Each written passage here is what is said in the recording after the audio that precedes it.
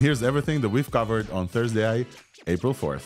I'm gonna start actually with the last thing that we just covered. But if you're if you're tuning in right now to the podcast, for example, you will hear a conversation of us announcing a new tool for generative AI and LLM application called Weave from Weights and Biases. You heard it here first. We are announcing a new toolkit called Weave from Weights and Biases, which is a suite of tools for developing and productionizing generative AI applications. You can actually check out our docs if you are one of these people that are like trying to apply AI to to build applications like maybe a RAG app or whatever, you can go to wandb.me slash weave and you can check out our docs. Should be pretty easy to get started. And we really, really excited to announce this on Thursday, but also broadly. Additionally, from Weights and Biases, we're coming to San Francisco in two weeks where we're going to uh, actually talk about Weave as well. And so we have a workshop on April 17th, and we have our annual conference called Fully Connected on April 18th. And uh, actually, I got a promo code for you guys. So if you are in San Francisco during those times, or you're looking for a, an excuse to your boss to go to San Francisco, there's, there's not a better conference that week in San Francisco than Fully Connected. And if you sign up right now with the promo code ThursdAI, uh, not only will you get 50% off of your ticket, I will also know that you signed up because you're a ThursdAI uh, fan and come and give me a high five and meet the rest of the team. We started with talking in the open source that Princeton released something called Agent, SWE-agent. If you guys remember, we talked about Devin before. So this is the open source version of something like a Devin agent. Uh, they get an incredible 12.3 score on SWE-bench, the benchmark that's like really hard to do. And Devin was very, very famous for getting 13% there.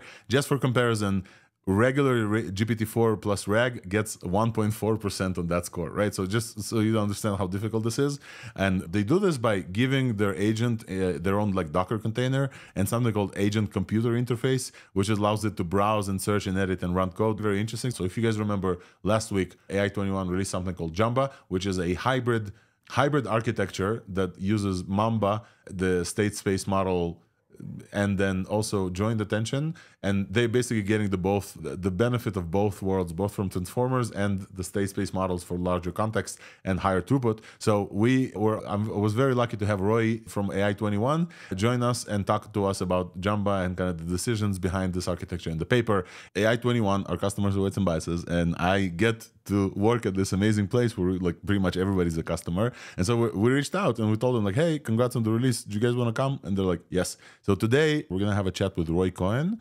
Um, Jamba is the first scale up of the Mamba architecture. It's an architecture that combines Mamba and Transformer both benefits, and it uses both blocks of Mamba and Transformer, more Mamba than Transformer.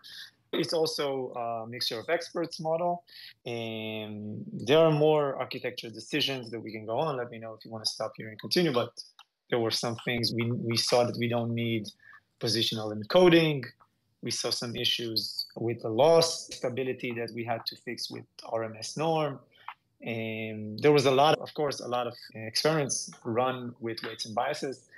And also, one of the reasons why they open sourced Jamba was to support the community fine tune as, as well. So I was very happy to also join this conversation with Maxim, Maxime Labonne, who we've talked previously about merging, but he's also very interested in SSMs. So he actually released a new fine tune of Jamba on the Platypus uh, dataset today. Yeah, I released Jambatypus, which is like a, a very modest and very humble fine tune of Jamba because it uses the open Platypus dataset. So it's about 20k samples, one We then covered that Justine Tunney, backed up by Mozilla, released a new update for llamafile. We also had breaking news today from Cohere. Cohere came up with an upgraded model. Cohere uh, called it Command R Plus.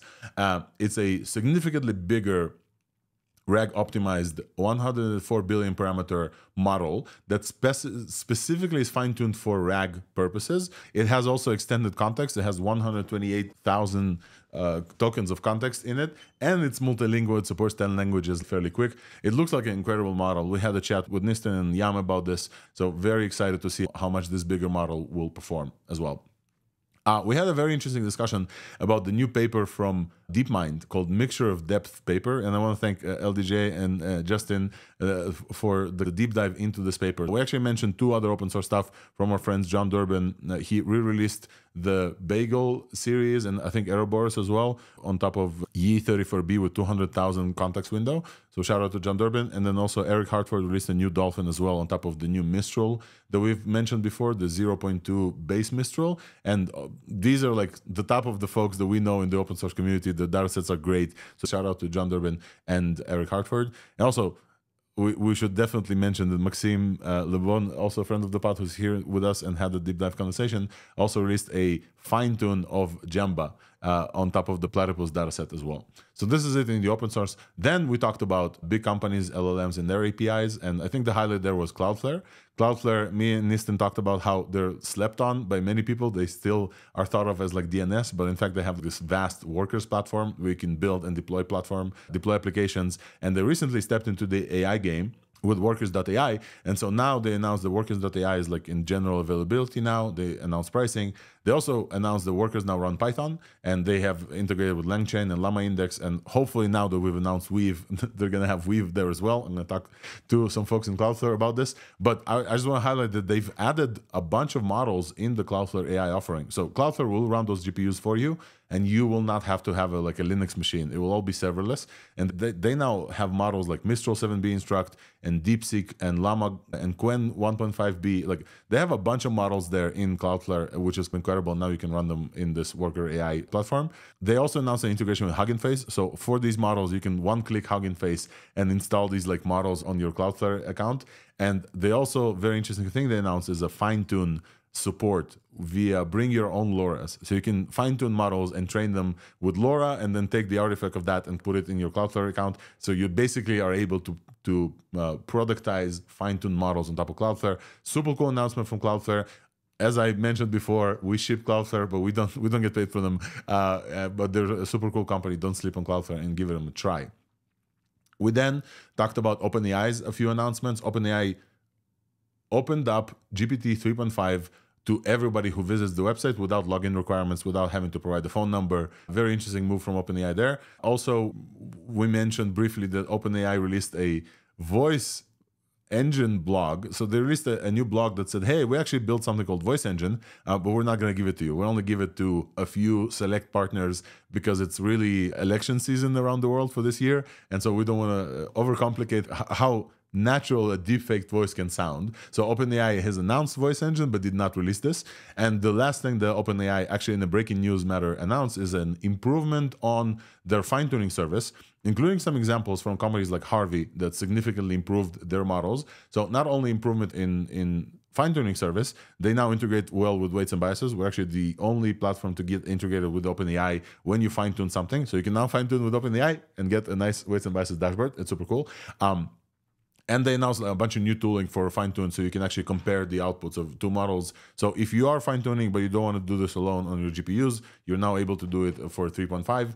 Um, very cool blog post from OpenAI, and uh, shout out to them for integrating uh, with us as well.